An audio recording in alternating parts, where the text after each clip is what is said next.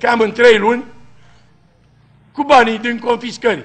O să terminăm pușcăria uh, mafioților. Și atunci îi vom da un parlament unicameral lui Traian Băsescu minunat.